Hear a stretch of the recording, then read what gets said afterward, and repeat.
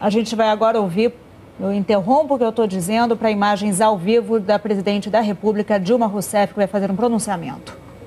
Boa tarde a todos vocês.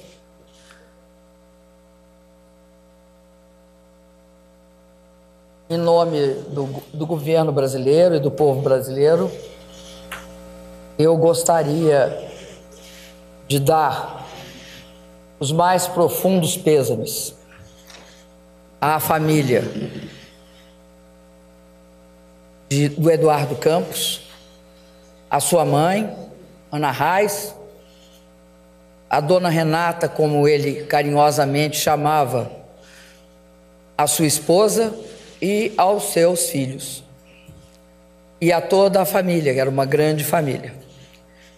Eu quero dizer que hoje o Brasil está de luto e sentido uma morte que tirou a vida de um jovem político promissor.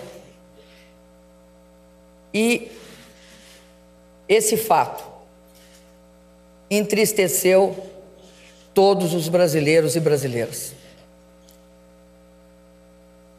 O Eduardo Campos Neto, de um grande político, um grande democrata, um lutador que foi uma referência para a minha geração, Miguel Arraes, que há nove anos atrás faleceu, Eduardo Campos, neto dessa liderança, seguiu seus passos e, por duas vezes, foi governador de Pernambuco.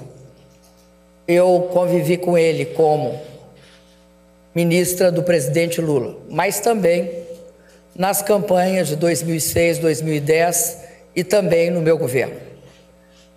Fui recebida em sua família e convivi com eles de forma muito calorosa. O Brasil perde uma jovem liderança com um futuro extremamente promissor pela frente.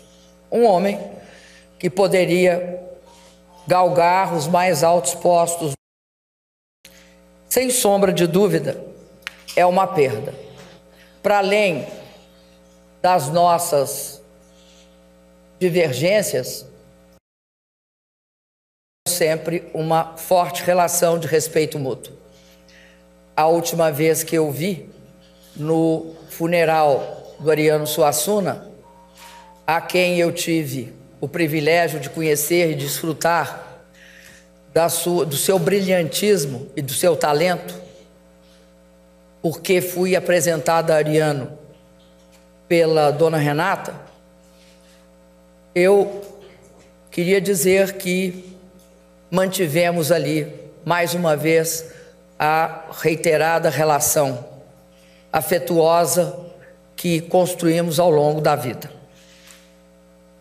Espero que o exemplo do Eduardo Campos sirva para mantê-lo vivo na memória e nos corações dos brasileiros e das brasileiras. Sem dúvida, é um momento de pesar, sem dúvida, é um momento de tristeza, um momento que nós devemos, com o reconhecimento que nós, seres humanos, somos afetados pela fragilidade da vida, mas também pela força e pelo exemplo das pessoas. Queria estender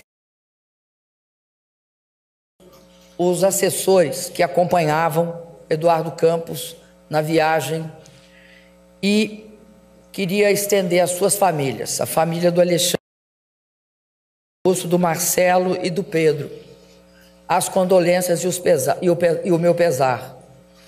Quero também estender às famílias das vítimas, que por acaso sejam tenham sofrido as consequências daquele desastre. Quero também me dirigir às famílias dos pilotos, Geraldo da Cunha e Marcos Martins. O governo federal está decretando um luto de três dias E, ao mesmo tempo, eu suspendi hoje a minha agenda e irei fazer o mesmo durante três dias a partir de hoje com a agenda de campanha. Acredito que o Brasil vai agora prantear esse morreu no dia de hoje. Muito obrigado a todos.